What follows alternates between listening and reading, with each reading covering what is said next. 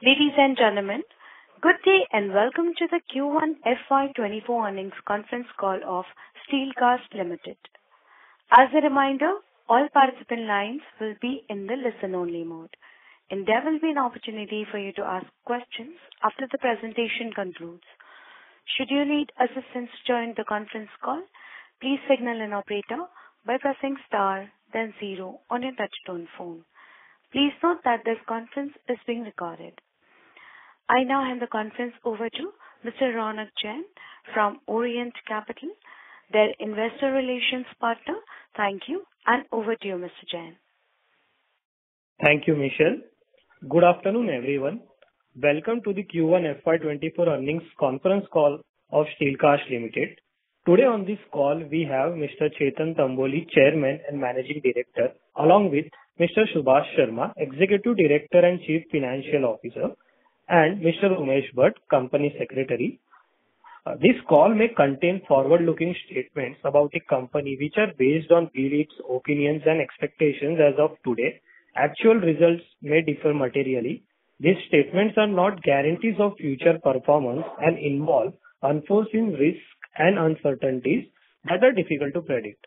A detailed safe harbor statement is given on page number two of the investor presentation of the company, which has been uploaded on stock exchanges and the company's website as well.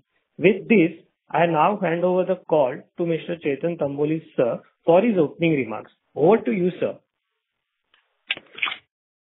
Uh, thank you very much. Uh, a very good evening to everyone on this call, and on behalf of Steelcast Limited, a very warm welcome for this Q1 FY24 earnings call of our company. I hope everybody had an opportunity to go through the investor presentation, which has been uploaded on the stock exchanges yesterday. We concluded our uh, annual general meeting yesterday and are pleased to announce the appointment of Rushil Tamboli as a whole-time director of the company. Mr. Rushil has a long-standing association since 2011 with the company and has made significant contributions to its growth. He will play a crucial role in implementing the succession planning strategy for managing the day-to-day affairs of the company. In Q1 FY 2024, due to geopolitical conditions, high interest rates, and elevated inflation rates across the globe, our year-on-year revenue growth has been moderate and on a like-to-like basis, performance on a quarter-on-quarter basis. Our EBITDA and PAT margins stand at 27% and 17% respectively, making the highest figures in our company's history. This achievements can be attributed to several factors, including cost savings in power expenses, reduced input costs, improved customer pricing, and improved operating margin efficiencies. We acknowledge the successful execution of the resilient plans that were announced two years ago. These plans are now fully in place and are being implemented efficiently to further enhance operating efficiencies. The global environment is currently undergoing a structural shift, with major global economies increasing their infrastructure spending. Additionally, a global manufacturing shift has begun, moving away from China. Steelcast is well positioned to capitalize on these changes, leveraging its key strengths, such as unique business model, technology, and R&D capabilities. Together with this, we also have locational advantages, manufacturing prowess, global footprint, and marquee customers. Speaking about the financial performance of the first quarter, FY 2024, we achieved a revenue of 119.5 crores, reflecting a year-on-year increase of 3.3%. Our EBITDA saw substantial growth, reaching rupees 32.3 crores, an impressive increase of 34% year-on-year basis. Notably, we have achieved an all-time high EBITDA margin of 27%, significantly surpassing our targeted EBITDA range of 20%-22%. Likewise, our profit after tax exhibited strong growth, expanding by 43.4% year-on-year basis to reach rupees 20 crores, resulting in a PAT margin of 17%.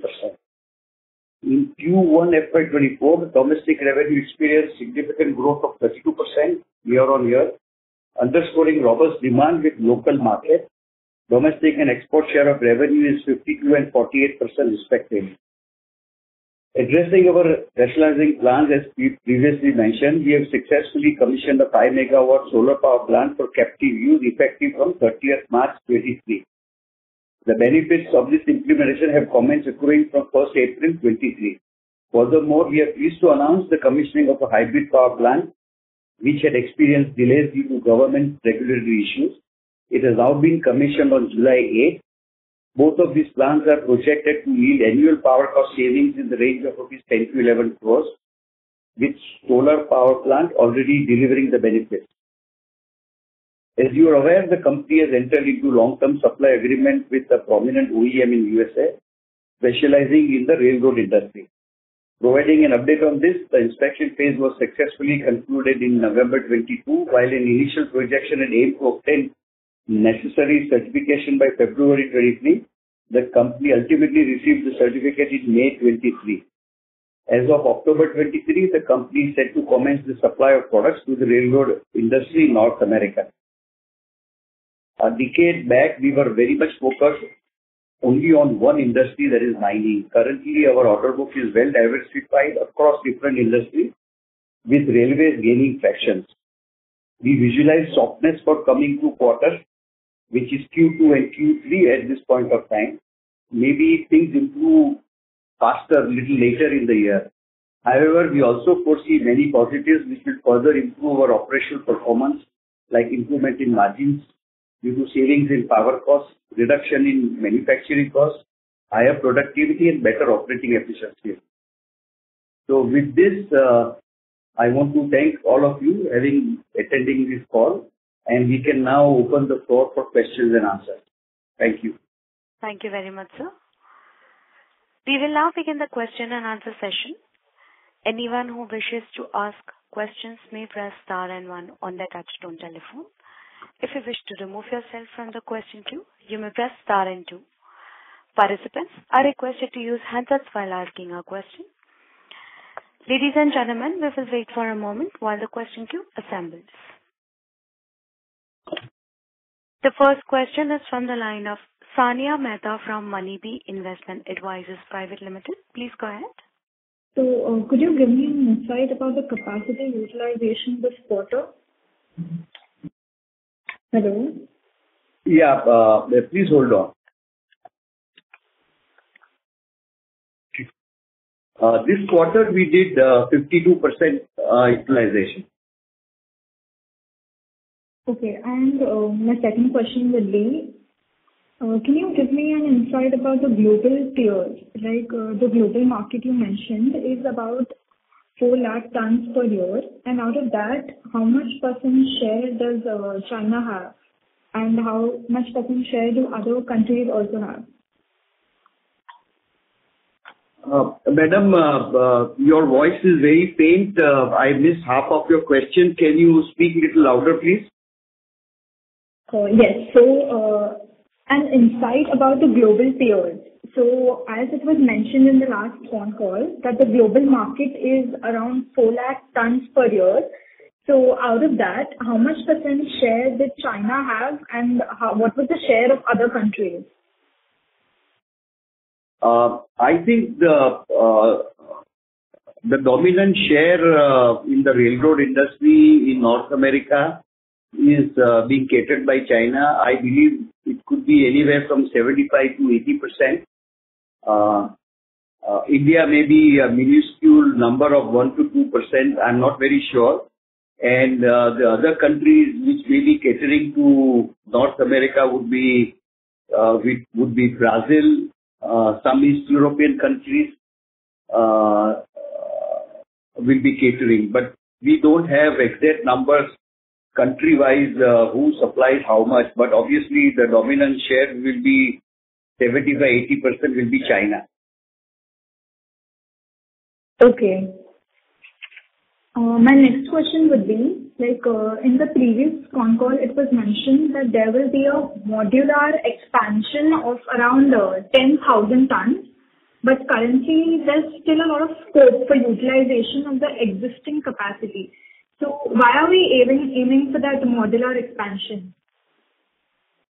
So, uh, uh, this was a statement of intent by us, that whenever we whenever we trigger uh, capacity expansion, we will do it on modular basis in multiples of maybe 5,000 tons each. But this is as and when we see an appropriate time to do it. Obviously, we could be a few quarters away from triggering the capacity expansion, uh, because if you're operating at about 52%, uh, maybe we would need, as we move now, we would need somewhere uh, additional capacities in 2027. So if you, the throughput time to create new capacity is about two years' time. So maybe towards um, mid-2024, uh, maybe we would trigger that, you know. So that, and to do it on a modular basis is uh, to make sure that don't uh, we don't have, you know, too much of excess capacities going forward. So that was the reason of, you know, doing it in a modular way.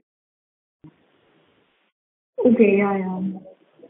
And, uh, also my next question would be, as you mentioned about, uh, the raw materials that were procured at uh, lower prices, so that we're using as a benefit for the customers, or are we looking at improving the gross margins?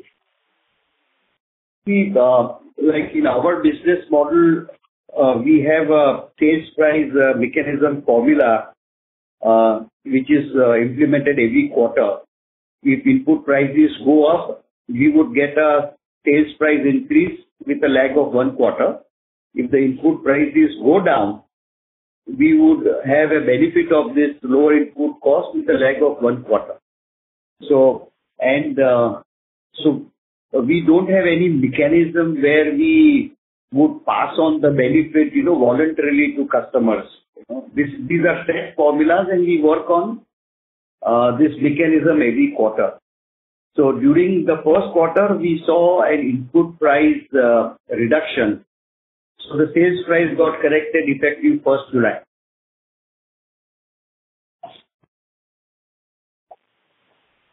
Okay.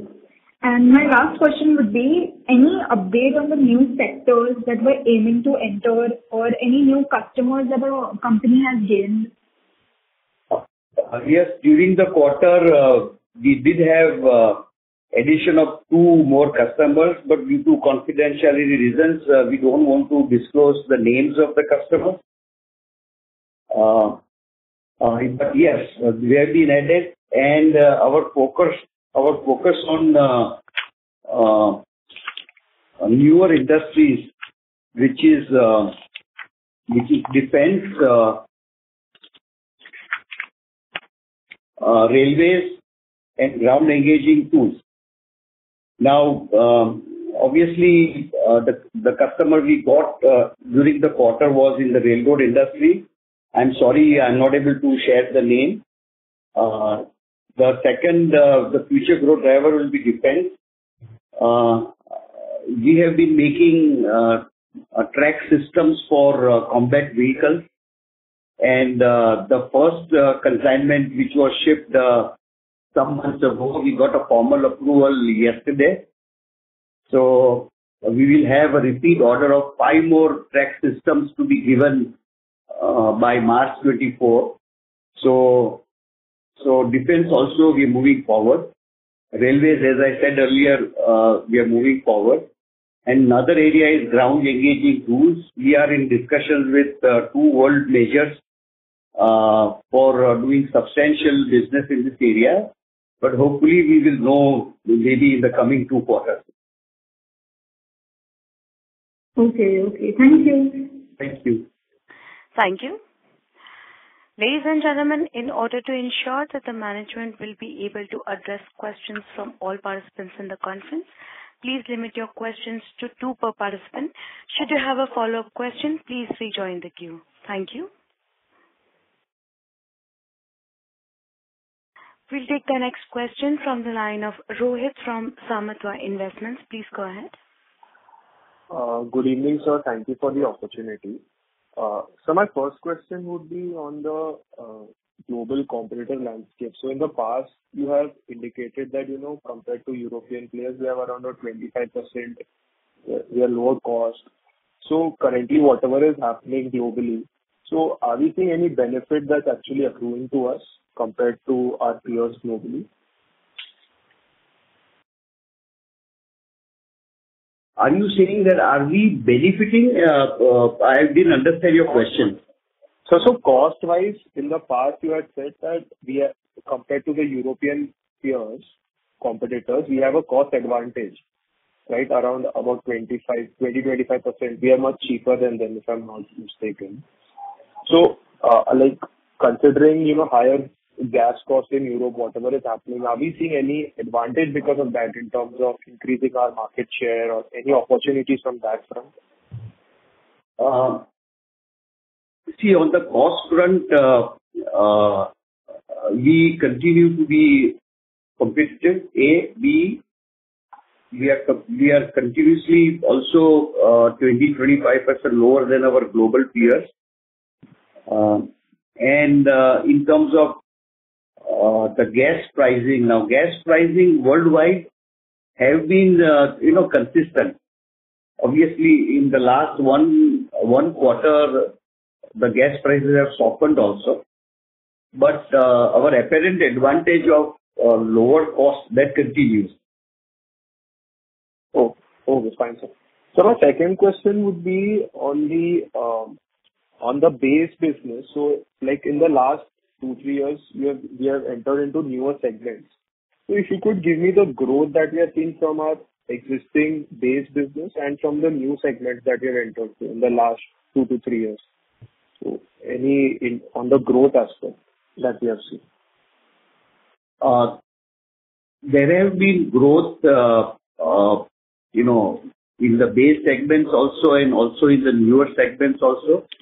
As the base of your segment, uh, you know, is quite lower because we just entered two, three years ago, the growth looks uh, apparently very, very high in the newer segment. But both put together, uh, we are seeing growth in all the industry segments which we are catering, like mining or moving, locomotives, transport, construction, railways, ground engaging tools, cement, steel, and defense. So we are seeing, of course, uh, it will of course vary from industry to industry and customer to customer. But uh, if we bunch all this together, we are we have seen growth over the past two years, and there will be growth, you know, as we move forward in the coming three to four years. Got it. Okay. So my last question, uh, my last question would be on uh, the, so in the previous call, you had mentioned, you know, three revenue drivers. One was the defense segment, one was the railroading segment, and one was the replacement market. So I just want to know on the replacement market, so how are we, you know, uh, we are still a very small share. So I remember you saying you want to reach around 10% in the next three to four years. So how are we planning to build on that segment going forward? And in terms of margins, are they, like, much higher than what we are exactly doing right now? Or if you could give me some picture on that.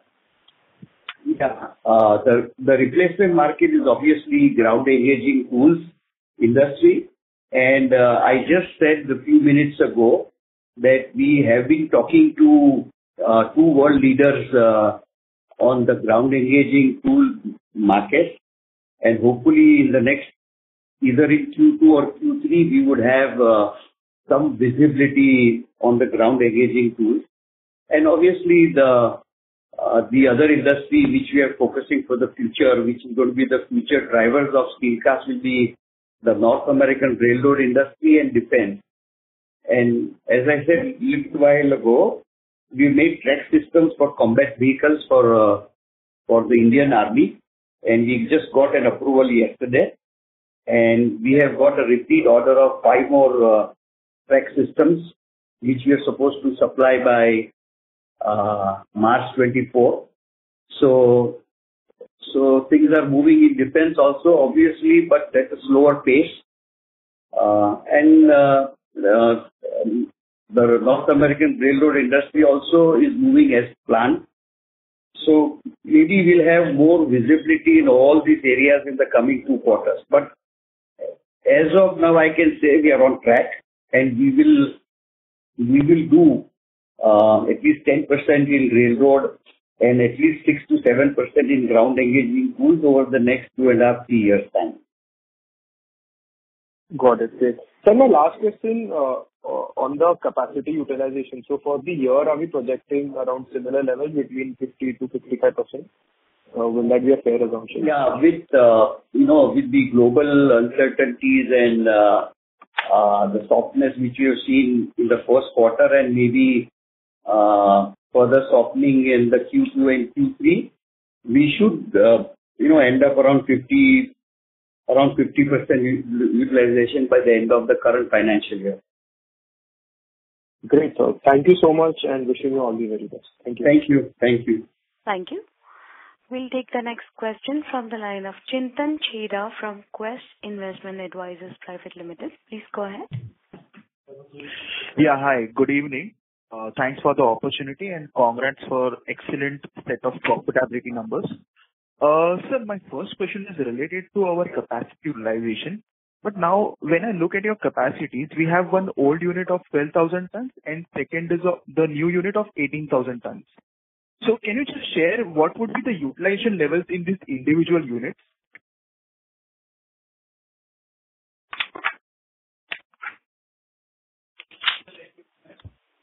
Uh, it might be you know, confusing for the for the investor community to you know, really go into our different plant-wise capacity utilization. You would rather work uh, or uh, evaluate on the basis of the overall utilization. But obviously, we do have plant-wise you know, utilization.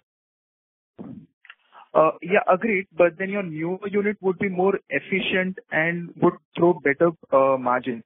Will that be correct understanding? Uh, The newer unit is a completely automated loop line. And compared to the older plant, which is what we call it, is semi-automated. So the productivities are better. But yeah, uh, it also depends on where we place products, whether we place in the old plant or the new plant, depending on the volumes of each part we do. So okay. if the utilization is less in the automated plant, the question generally is that, "Why can't we do more?" But then once we try to do more, if uh, the if if the parts are not with high volumes, then it becomes uneconomical to do on the automated line. So, so our engineering uh, department you know, evaluates this, what should go where, and uh, and then uh, you know take this forward there. So, so I would recommend it's better to work on the overall utilization rather than plant-wise.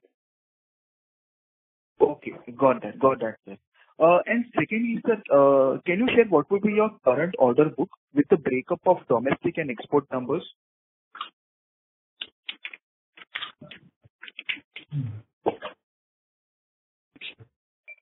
See, the current year overall uh, export and uh, domestic put together is close to about uh, 105 crores effective 1st July.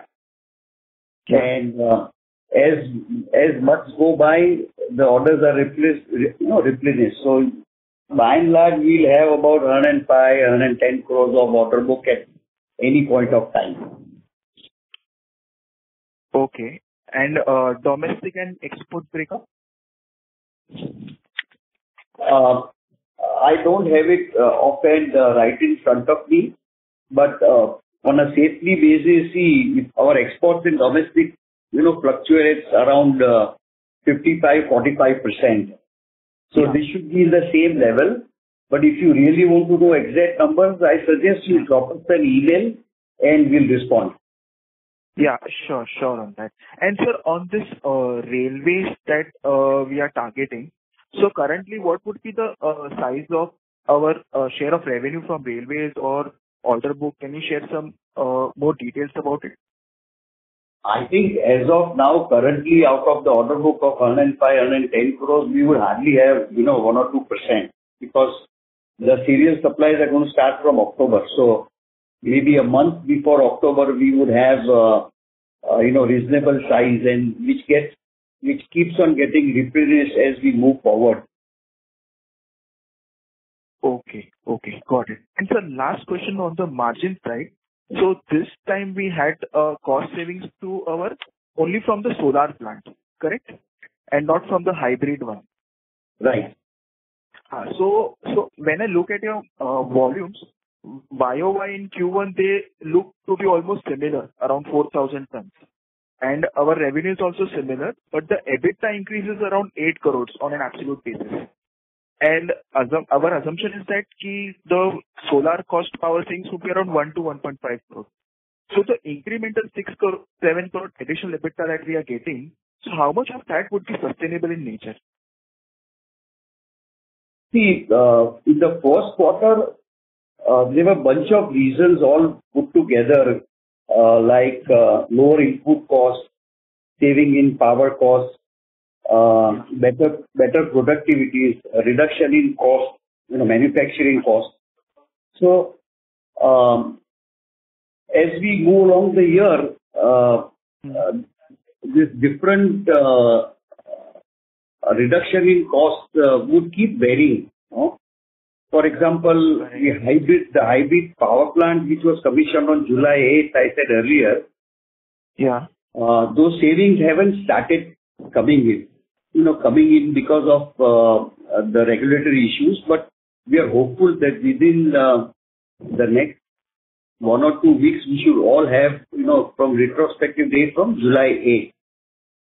So so by and large, we should have the year with uh, a good sustainable EBITDA margin. And as I've already always said, that we met 20%-22% EBITDA and then end up getting you know, 2%-3% more through various uh, efforts which have been put by our manufacturing team. So that that should continue you know, as we move forward. Okay. Okay. Got it, sir. Thank you very much for Thank you. And all that. Thank you. Thank you. Thank you. We'll take the next question from the line of Rajesh Jain from NB Investments. Please go ahead. Uh, good evening, sir. Thanks for the opportunity. Uh, congratulations on a very good set of numbers. Sir, my first question is, uh, when you say 50%-52% capacity utilization, Uh, do we have to take the total capacity as 30,000 or you know, the 27,000? Uh, uh, now, you know, these numbers may keep varying by about 1,000 tons here or there. But so year on year, depending on product mix, the number will be sometimes 29 or sometimes 30,000. Like Currently, whatever we are producing, the product mix what we have, Uh, the capacity can be called as 29,000 tons.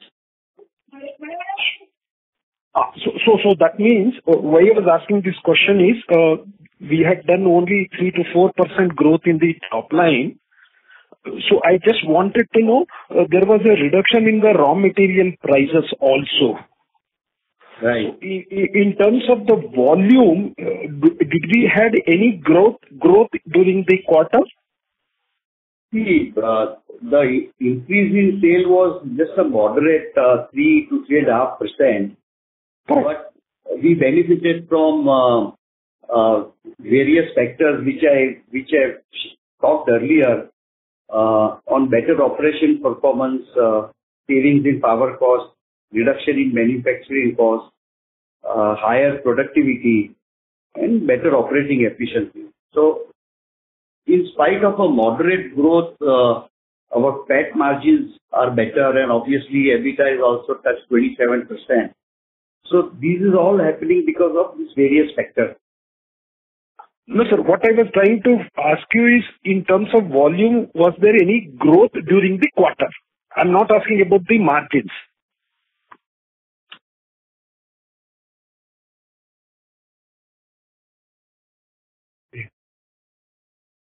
I think it's more, more the volumes were more or less same. Same. Okay. Now, why I was asking this, now you have given a soft demand during Q2 and Q3.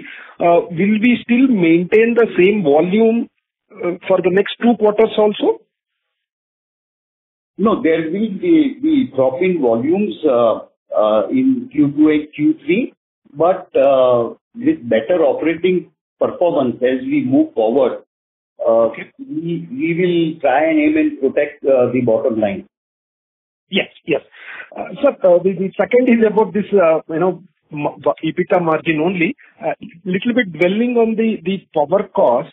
If you see during the quarter, the saving in the power cost is more than 3.5 crores. Hello? Yeah, go ahead. Yeah. Uh, so it's more than 3.5 crores.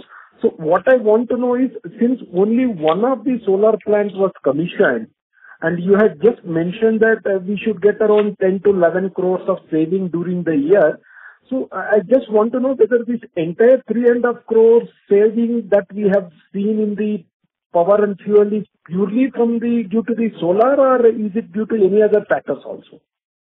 No, see, the Uh, power, of fuel and water, they're all bunched together, and that's where you are seeing, you know, reduction. Correct. Now, there have been uh, reduction in uh, the natural gas price and the LPG prices also, you know, during the quarter. Okay. So, so but the savings, what is approved is from the, our captive solar plant.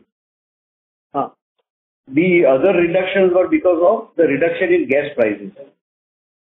So what I was trying to figure find out is, uh, this power, saving of power cost would not be more than 10 or 11 crores. That is what you have mentioned for the year. Absolutely. I just said that, uh, both power plants, the hybrid one and solar, will have an annual saving of 10 crores-11 crores. Why was that? Oh, okay, okay. Because this year itself, this quarter itself, it was 3. I thought it could be more than 12 to 15 crores once this. No, no, no, but because we are, because the the the power is together, you know, the fuel is also there as per the. Okay, okay. Ministry uh, of uh, Corporate Affairs format. So there has been reduction in gas prices, and that's why it looks lower. Lower. Okay, fair enough. Sir, my next question is about the employees. You had mentioned in the call that, you know, Gujarat government had revised the minimum labor, um, you know, salaries, and that would also hit us. So, so just wanted to know, uh, during the quarter, we have, uh, you know, 10 crores of employee cost. So shall we take this as the uh, every quarter, this is the cost for the company? Absolutely. Uh, whatever effect which has come uh, uh, in the month of, I mean, for the effective 1st April, the increase in minimum wages and obviously the annual increments of all employees are also done effective 1st April. So all of that is being factored in. So in spite of steep increase. Correct. The increase in cost in employee expenses is very, very marginal, and that's because of um, higher productivities and uh, other rationalization measures which have been uh, used by us. So in spite of the, again, in spite of the steep increases, our increase is very, very moderate. Okay. Sir, now, in the subsequent quarters, if the volumes are not that much, let's say even it is, uh, you know, flattish type of growth, you will able to maintain these type of margins? Uh, our team will strive to, to you know, to protect the bottom line uh, to the best possible extent. And uh, I see no reason to, you know, to show better operational, you know, better operational performance in spite of softening of volumes. Okay. Okay, sir. Thank you very much, and wish you all the best. Thank you. Thank you. Thank you. We'll take the next question from the line of Smit Shah from Monarch Networth Capital Limited. Please go ahead. Hi, sir. Firstly, congratulations on good set of profitability numbers. My question is regarding, can you please quantify the volume of orders with the American Railroad and Defense this year and next year, if you can quantify? Uh,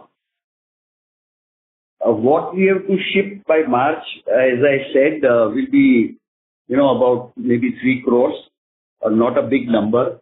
We don't have visibility for defense in the next financial year. And what's the other thing you asked? The railways. So the serial supplies of railways will happen, uh, hopefully from October onwards. So we should start seeing orders uh, coming uh, maybe towards the end of the month or beginning of September. But as of now, will be again a minuscule number of uh, uh, number of maybe one and a half, two crores. Sir, do you mean uh, American Railroads is to deliver uh, approximately 3 crore by March 24, right? Say that again? The American Railroad figure by March 24 is 3 crore, is what you said, right? No, I said the order book as of now. That's what you asked me. Yeah. But as as as we move in the year, the orders will come. Okay, sir. Got it. Got it. Thank you, sir. Thank you. The next question is from the line of Darshil Zaveri from Crown Capital. Please go ahead. Uh, Hello. uh, Good evening, sir, and thank you so much for taking my question. Uh, So firstly, congratulations on a great set of results. Uh, Thank you. So, sir, I just wanted to ask, maybe this year we are looking for a flat kind of year, but maybe in uh, how would our capacity utilization progress maybe over a period of next two years or something, you know? Could we have some kind of flavor? What do you think the environment will be? Maybe this is the year of consolidation and, you know, we might have a big jump in the next year that might be able to take that might be, you know, get us two years of growth together. Will that be possible, or how do you see going forward, maybe, you know, what on FY 25, some target that you could have? Uh, The current year will be around 50. Uh, FY 25, we are targeting to get to 60, and uh, uh, FY 26, we are targeting to be around 75%. So so this is some some little visibility we have on the utilization level. So, so that means we might be able to see 20% growth in revenue, approximately, if I calculate as per capacity utilization. If you can put all these numbers and work work out the compounded annual growth rate, whatever that number comes should happen. Okay. Okay, perfect, sir. And sir, with uh, and sir, with regards to margin, as you've said, we'll try our best to protect them, but as we increase our capacity utilization, is there a chance for that we could even get a higher operating leverage, or how would that work out? Or do you think that right now the the margin that we are at are like are the best that we can probably do for the next one, two years? Um, As I said, uh, you know, a number of times that our pricing strategy aims at 20%-22% EBITDA margins, and then we try and get away another few percentage points, 3, 4, from various other cost reduction me- measures. Um, I would be satisfied uh, if I were in your place with the with the present number.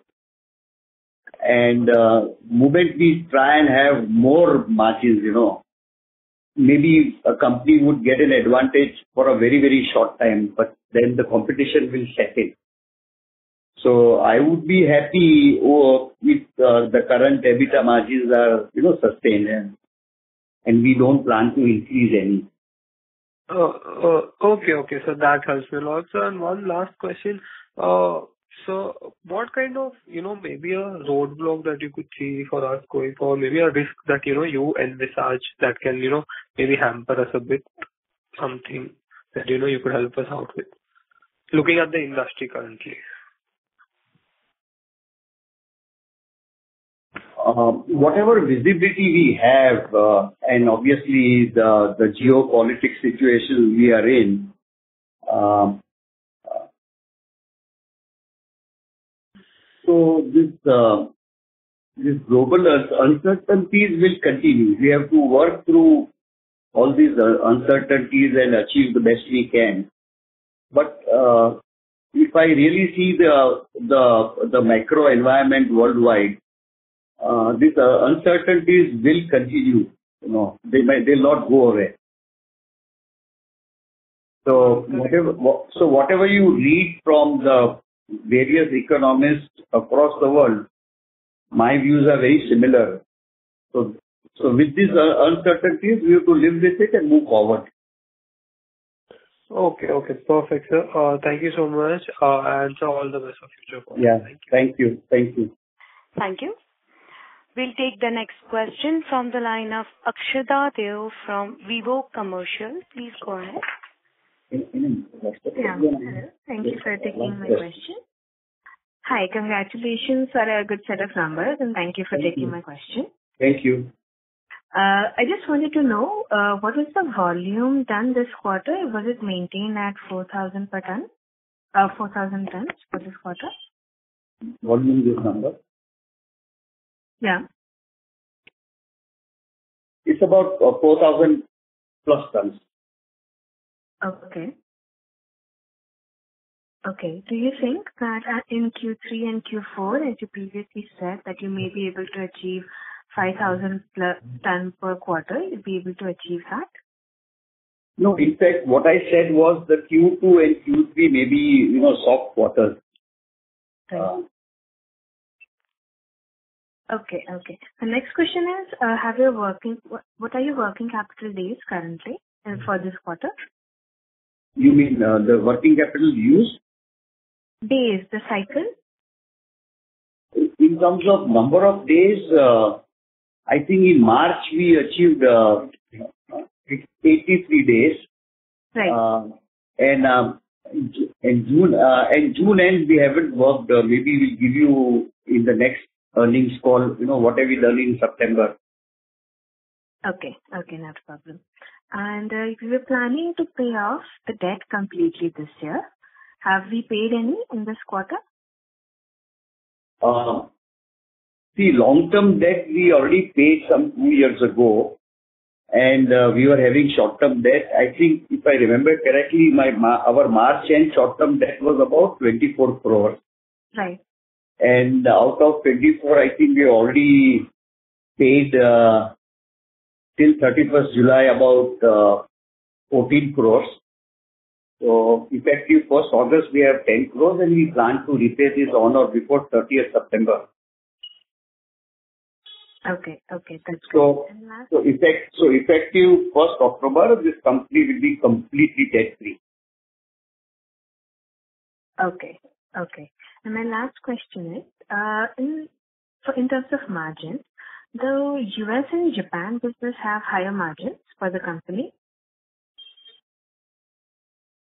Uh, There will be a marginal difference between uh, between countries, between industries, and between customers.